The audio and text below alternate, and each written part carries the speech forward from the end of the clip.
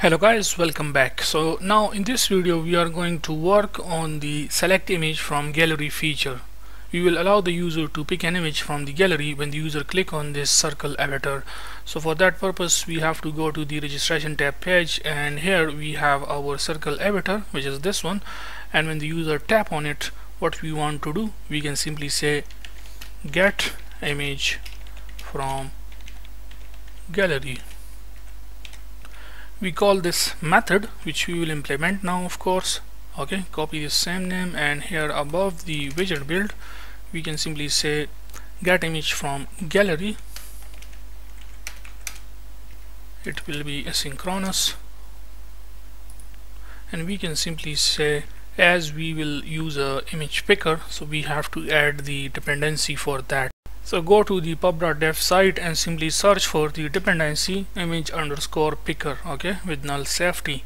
So let's open it, click on installing and then copy the dependency and come back to the project. Inside here we have pubspec.yaml and we will simply paste that here.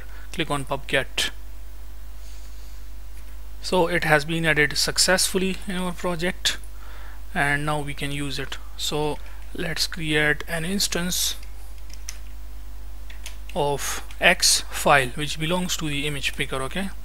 To which we will assign the file that the user will select from the phone gallery.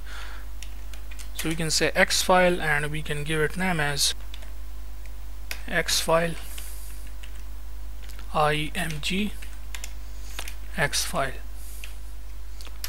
Also we need to initialize an instance of image picker which also belongs to the image picker package.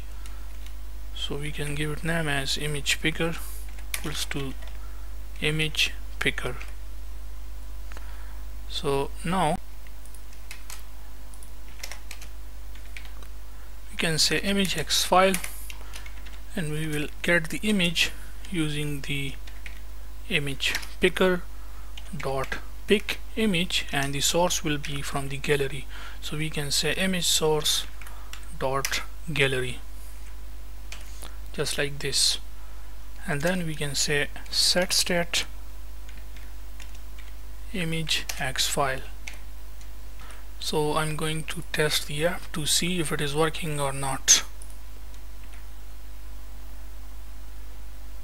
so the app is running now. Let's go to the registration page. Let's click on the circle avatar and it sends us to the font gallery.